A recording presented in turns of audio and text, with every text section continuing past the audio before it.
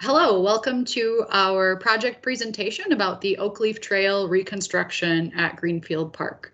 This project is being implemented by the Milwaukee County Department of Administrative Services and Milwaukee County Parks. The project team for the Oak Leaf Trail reconstruction in Greenfield includes Michael Marlin, landscape architect for Milwaukee County Parks, and David Golgowski, civil engineer with Milwaukee County Architecture, Engineering, and Environmental Services.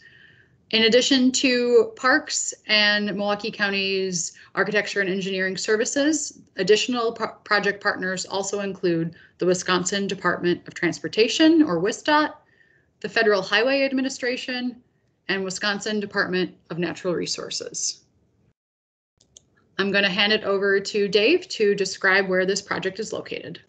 Very good. Thanks, Lindsay. So this project starts in Greenfield Park. Greenfield Park is located actually um, on the western edge of Milwaukee County.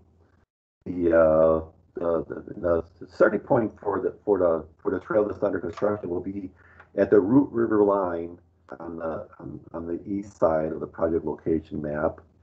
Um, and then we're going to be going uh, westbound to to 124th Street, as, as Lindsay's showing there, and then that's going to cross over a bridge, and that eventually will connect up into the uh, into the New Berlin Recreational Trail uh, the, on the west side of the of the bridge there. So uh, so next slide then. So so why is the trail being reconstructed? Well this is a one. This is a 1,200 foot segment of Oak Leaf Trail that is in really poor condition and needs to be reconstructed.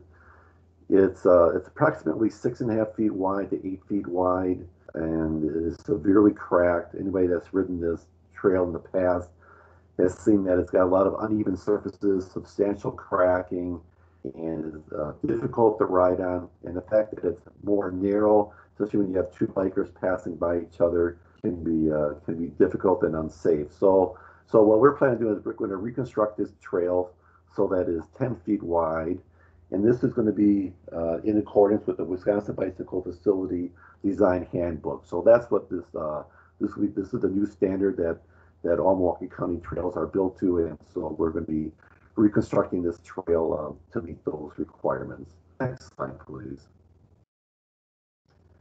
So I'm going to start at the uh, at the upper left hand corner there. This is showing the, uh, the, the starting point at the at the Root River line. Again, this is in, uh, in Greenfield Park there, and our and our view is to the is to the west there. And then uh, as, you, as you go in a clockwise direction, we're showing how the how the trail meets together at at the at the east end there and you can kind of see the, the connection point there um, as they as they come together.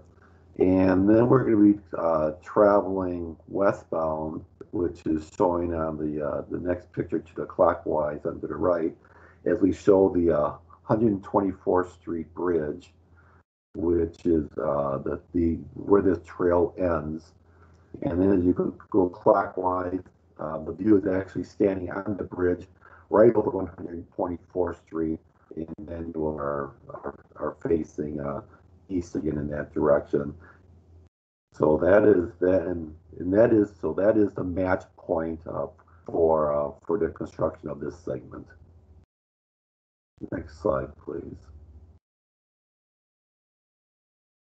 So, uh, so the new design that we're doing um, meets uh, meets all ADA requirements uh, with the slope. Uh, we're trying to match, kind of match similar to what's out there now. But again, we're making a 10 foot wide path and also really concentrating on the on the slopes of of the of the trail to make sure that it meets all the requirements. It also meets the requirements of the Wisconsin Bicycle Facility Design Handbook in that it's a 10 foot wide asphalt path. Safety features that, that have also been included is as the, uh, the way it's currently uh, constructed is the two paths really come together at an angle and really makes your your visibility of, of the of the trail users difficult. So what the new design has done is it's formed in one trail into more of a 90 degree turn. That adds with visibility so that when somebody is coming up the, from the Root River line and you're matching into that Oak Leaf Trail spur there, you're going to come at it more at a 90 degree angle, giving you more visibility of, of bikers that are traveling in the east and west direction. Next slide, please. So the project budget and timeline, the, the total project budget is 96,000, just over $96,000. This is being funded by 80% through the Wisconsin Department of Transportation. Um, and it's, we're using a grant and it's the Transportation Alternatives Program, TAP grant. And then 20% of that um, is being matched by Milwaukee County. So we are currently in the design phase of this project.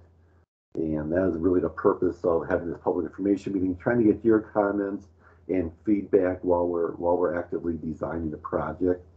Once we receive those comments, we're going to go into final design and engineering. That's going to occur right around June of, of 2021.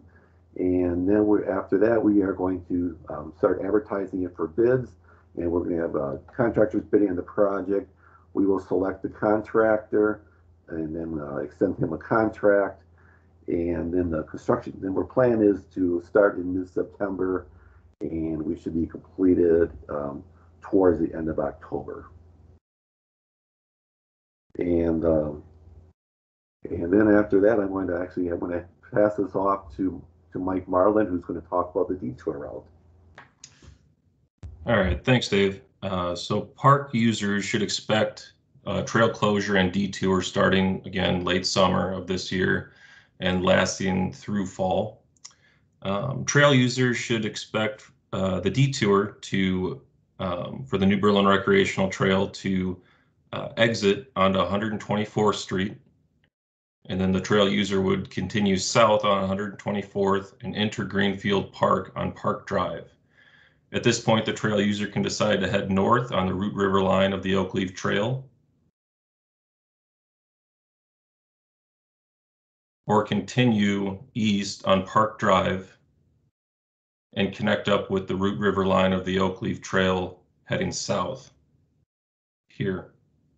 the trail user can also continue onto Park Drive to 116th Street heading north, which would put them back on the West Allis Connector Trail to continue heading east.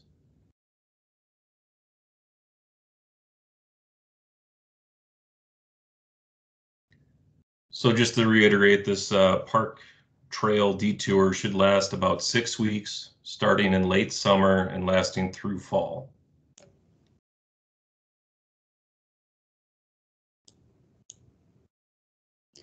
Public comment is open for this project until Friday, April 9th, and that will close at 5 p.m. We will provide the direct link to the comment form along with links to the PDFs of the slides which we showed today. Those will all be available online in the comments and you will also be able to find them on the Milwaukee County Parks website. Just a friendly reminder, if you have not downloaded the Milwaukee County Parks Explorer app, please consider downloading that today. On the app, you can find um, fun, interactive links to park amenities. You can use a very cool time lapse feature where you can actually see historic photos of various parks. You can look at trail maps for places like the Oak Leaf Trail, and you can also track your park visits. Um, be sure to download the app today and uh, we would love to hear your public comments about this project as well. Thank you. Have a good day.